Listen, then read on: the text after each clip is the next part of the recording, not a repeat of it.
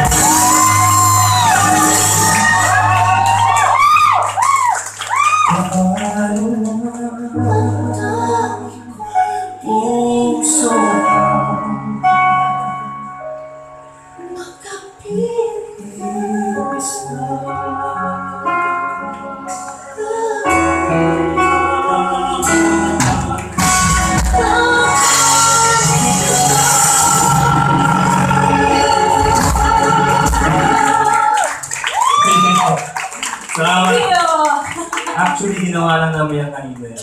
Pinanakis